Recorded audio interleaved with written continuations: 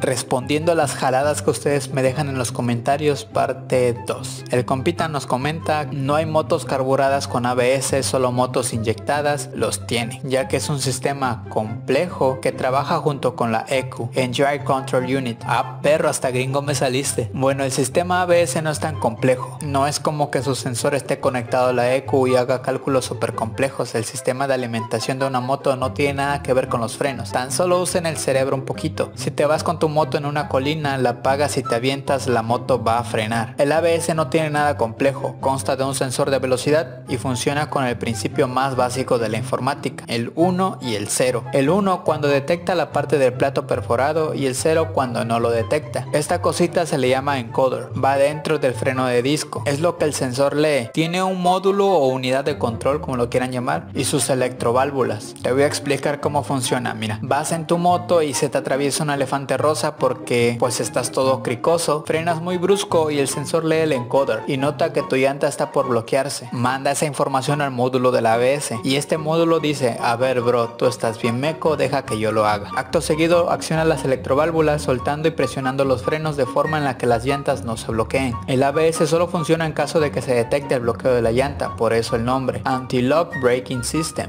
Este viene del video de la Itálica 150Z, dice que con su moto stock, o sea antes de pegar las estampitas, tira 95 km por hora, sin exigirle y con inclinarse saca 120. Bueno bro, hay algo que te dice mentiroso, se llama aerodinámica, en resumen se refiere al comportamiento del viento sobre un cuerpo. Inclinarse en una moto sí puede generar una mejor forma aerodinámica porque hay menos volumen, por tanto el aire fluye con mayor libertad. Es por eso que las motos deportivas tienen una posición muy inclinada, pero no una 150Z. Al chile banda, si tienen una moto sencilla, aprecienla, cuídenla, es chido disfrutar las cosas, pero no se inventen jaladas mentales como que inclinarse dará 25 km por hora extra a la velocidad final. En la vida real las cosas no funcionan así. De hecho es probable que la moto llegando a su límite de revoluciones o máximo sean esos 95 km por hora. Inclinarse no es un power up que aumentará la potencia. Para desarrollar más velocidad final no solo se necesitan caballos de fuerza, existen otros factores como la aerodinámica ya mencionada, la tracción de las llantas, la forma de entrega de potencia y la más importante, el piloto retrasado mental que esté sobre la moto.